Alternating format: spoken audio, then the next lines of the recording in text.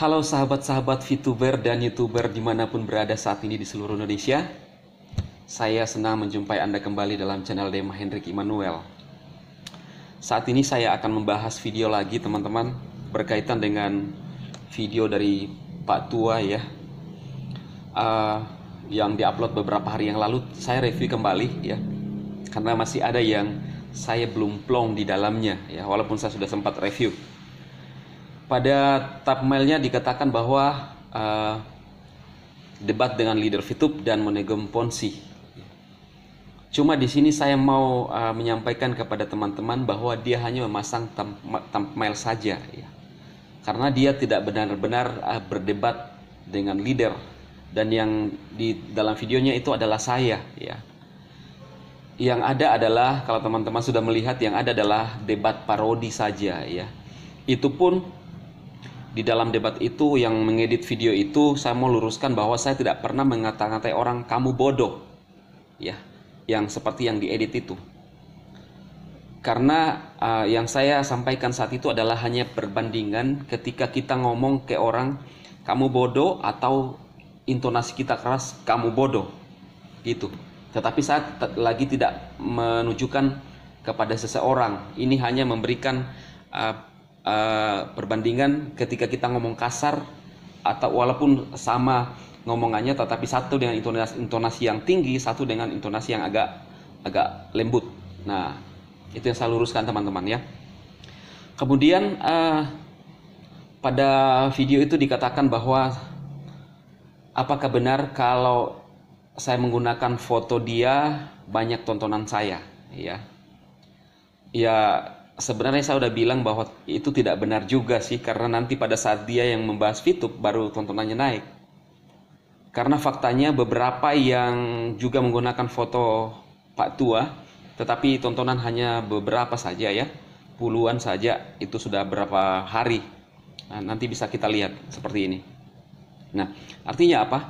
Dan dia punya juga uh, kalau tidak membahas VTube beberapa yang saya lihat videonya tontonannya hanya ratusan ya. Seperti ini juga teman-teman. Iya kan? Artinya kalau dia bilang uh, dia terkenal sekali ketika kita pasang fotonya dia tontonan uh, naik ya bukan karena dianya juga teman-teman. Karena memang apa yang dibahas itu adalah VTube dan saya tidak pernah merasa diri saya bahwa uh, saya yang itu. Tapi memang karena VTube adalah aplikasi yang lagi viral dan lagi banyak orang yang Uh, penasaran dengan VTube, maka seperti itu. Nah, inilah uh, bukti-bukti uh, bahwa orang-orang yang kadang ngomong yang tidak mikir. Kemudian dia bilang uh, di pada videonya bahwa saya adalah seorang pendeta. Dan dia bilang saya udah cek kok, ya, saya udah lihat. Nah, di sini saya mau menjelaskan lagi bahwa uh, kita hanya melihat media sosial itu tidak buk, tidak cukup ya untuk kita langsung mencap seseorang untuk memper, apa, mengambil kesimpulan bahwa dia adalah seorang pendeta. Yang benar adalah kita harus lihat apakah memang benar-benar dia punya kartu pejabat atau dia terdaftar pada uh, salah satu lembaga organisasi namanya ada di sana, ya kan? Apakah ada nama saya? Nah harusnya yang dia cek itu adalah seperti itu, ya.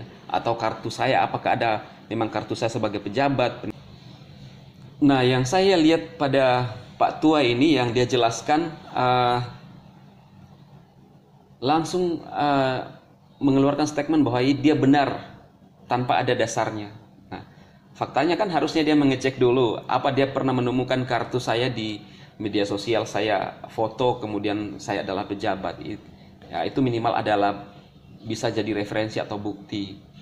Kemudian mungkin mengecek di satu organisasi apakah nama saya terdaftar di dalamnya Nah, seperti itu kalau kita mau mengecek atau memberikan statement yang benar. Nah, inilah yang dilakukan oleh Pak Tua selama ini, termasuk di VTube, sehingga dia kadang-kadang salah kaprah. Ya, saya bilang salah kaprah. Jadi salah menilai, termasuk eh, dia menjelaskan aplikasi VTube dengan tidak ada benarnya. Ya. Jadi teman-teman, uh, inilah yang saya mau sampaikan. Kalau anda masih juga percaya kepada apa yang disampaikan oleh Pak Tua ya sangat disayangkan karena apa yang Anda dapatkan menjadi membernya Pak Tua ya. Kemudian sekarang saya menggunakan nama Pak Tua karena katanya kalau saya menggunakan namanya jadi terkenal ya. Jadi saya menggunakan istilah Pak Tua saja ya atau Kong boleh kan.